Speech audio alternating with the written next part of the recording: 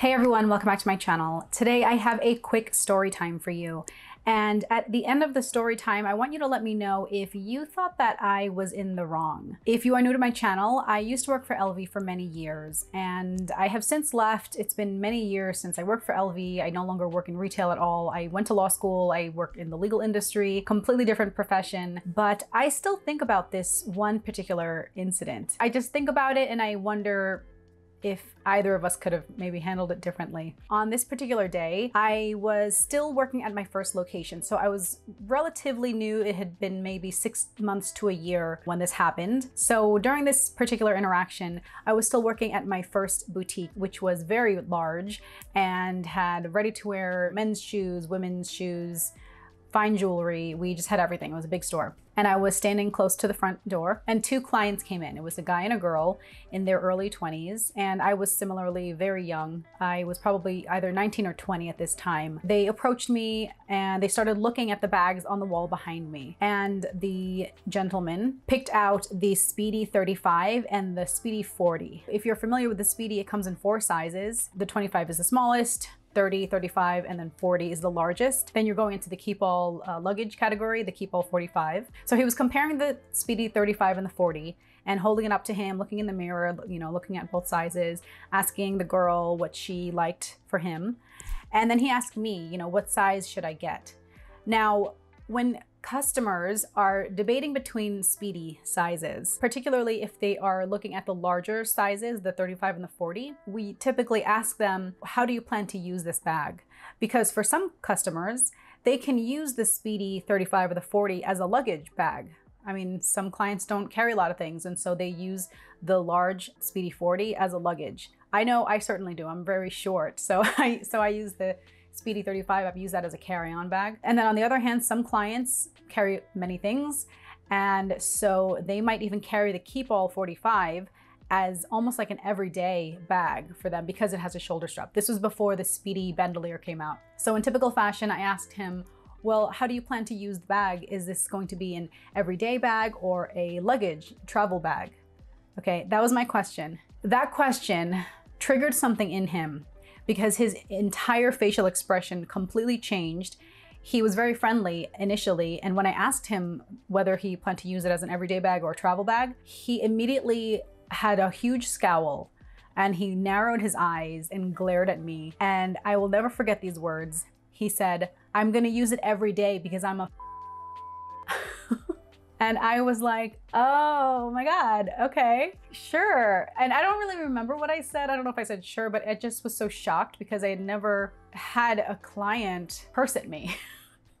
Up until that point, I've never had a client not only curse at me, but hurl this homophobic slur at me, but referencing himself. Obviously, he was being sarcastic. And I, all these thoughts went through my head, and I just, I was kind of in damage control mode. And so I just said, okay. And I don't know if I was trying to explain because sometimes, you know, when people are offended, if you try to explain, it just makes it worse. But I mean, I didn't know what else to do. And I just explained, okay, that's great. You know, some people use it as an everyday bag. This was about 15 years ago or more. And nowadays, that topic, you know, those kind of controversial sex and gender and race, those are just, it's so sensitive and you really need to approach it very carefully. I mean, looking back, I'm just gonna assume, you know, he felt a certain way and he was offended by my question because in his mind, he probably thought I was assuming that men can't carry bags and only certain men carry certain bags and if they do they're effeminate or gay or whatever. Anyone can carry any bag. I carry men's bags. Men can carry women's bags. I mean often there's no more men or women's.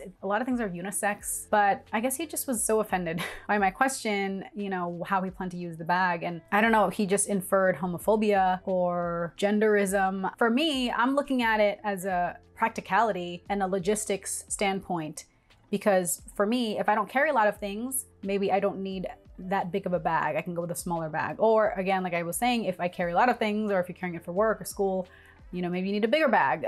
so all I was trying to do was narrow down his purpose, his intent for the purchase, the bag, and, you know, try to guide him. But I guess he just was very offended. But it basically kind of went downhill from there. He just was so mad at me and he immediately kind of scoffed and went to his friend and they just kind of walked around the store and then just left and didn't say bye. And, you know, I said thank you, but uh, I was just like, what? And so afterwards I polled my coworkers and I was just like, did I do something wrong? We were trained to ask these kinds of semi-probing questions because we're trying to ascertain how a client plans to use an item so that we can help clients pick out the right item for them in the right size. One of my other videos, I talked about a client who was returning shoes.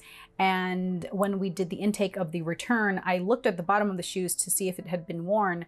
And it just was a glance and I didn't say anything, but she was so mad that I dared to look at the shoes in front of her and she immediately bristled and told me I was rude and, and, that I need to get more training. And I'm just like, oh my gosh, I think that clients, when they are insecure, they often maybe project their insecurities. Now I'm older, I've worked with many people, and I've had a lot more problematic situations arise, especially in a workplace. And I realize that often insecure people become very defensive and they project their insecurities onto others and they infer hostility where there is none. And in my case, I was not being hostile. I wasn't being homophobic. I just was asking how he was planning to use the bag so I can help him pick out the right size. So yeah, retail is a tricky industry and clients, you just can never, you can read their mind. I just feel like it would go a lot more smoothly if maybe clients just take what the sales associate says at face value and don't infer grievances and anger, you know, where there is none. So these days I think about him and I wonder, you know, does he tell his friends that, oh, this one time I went into LV and the sales associate was a homophobe?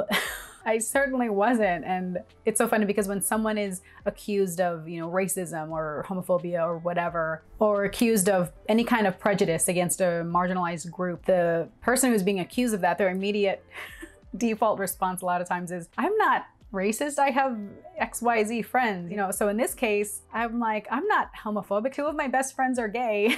but, you know, it doesn't matter. Ultimately, people are going to find offense where there is none. So I hope you enjoyed that story time. Let me know what you think about that interaction. If I could have said something differently, I don't know. I mean, I can't go back in time, but if you worked in retail, let me know if you experienced anything like that and how you handled it. So I hope you enjoyed that quick LV story time. Thanks so much for watching and I hope to catch you in my next video. Bye.